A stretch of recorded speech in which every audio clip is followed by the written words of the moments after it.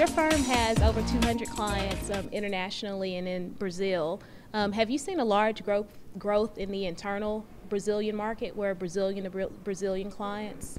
Uh, yes, we have. Um, most of our growth uh, has come from Brazil. Mm-hmm. Um, you know, the, the Brazilian economy has been growing fast over the last 10 years, and IT grows at a multiplier of the of the local economy. So if, if the economy has been growing 8 or 9% or 6%, uh, IT has been growing 12, 13, 15. Okay. And we've been beneficiaries of, uh, of that growth. Okay. Um, one of the comments that you made, I guess, with the acquisition um, by Capgemini is that uh, cloud services adoption was lagging a bit in Brazil. Um, has that improved? Um, and what do you think it's, the reason for that uh.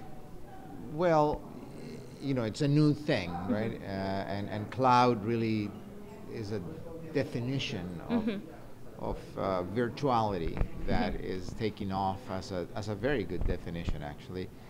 Uh, it's growing fast. Mm-hmm. There is a large number of data centers being built in Brazil. Before we thought we had excess capacity. Mm-hmm. Now we find that we don't have enough capacity.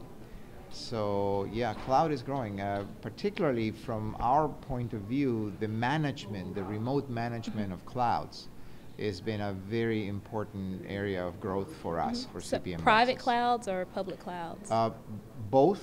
Uh, most of the work we've been doing is running or setting up or managing private clouds, mm-hmm.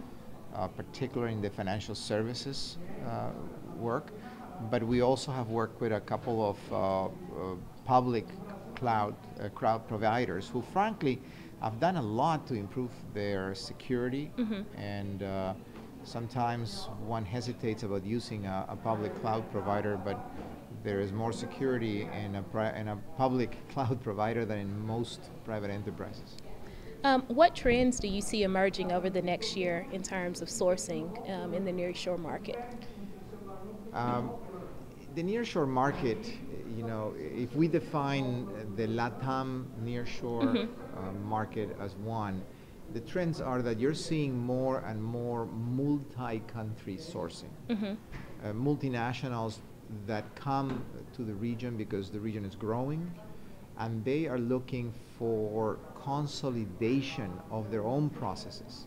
So the efficiencies that come from having centers in LATAM that not only support North America or Europe, but actually support their growth areas in LATAM itself is what I would say is the largest area of growth today.